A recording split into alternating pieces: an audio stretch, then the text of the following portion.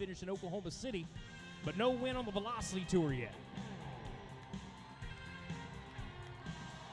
Coming right. There we go.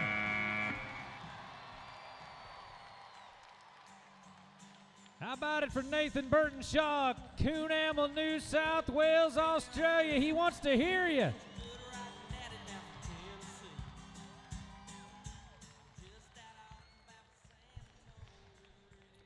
Where are we going to put Burtenshaw? How about put him into the number three spot, 84 and a half points? 84 and a half.